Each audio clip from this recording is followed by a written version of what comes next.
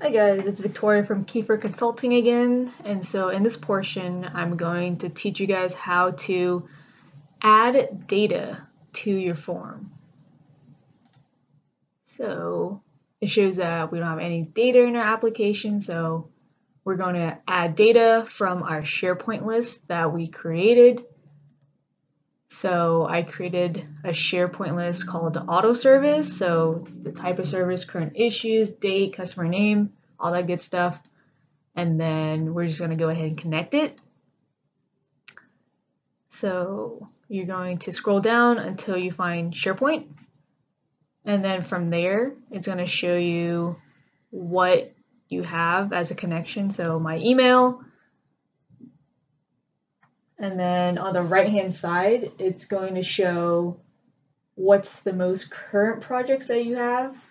So for mine, it's listed under this SharePoint site. And then it shows the current list and folders that's associated with, with your SharePoint list. So we're going to go ahead and click on auto service and then connect. And then now that it's visible, we're gonna go ahead and insert. And then right here, we're gonna click on forms. And then let's go ahead and click on edit.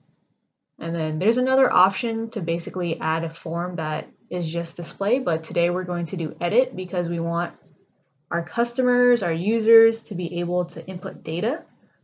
And so we're gonna go ahead and connect to data.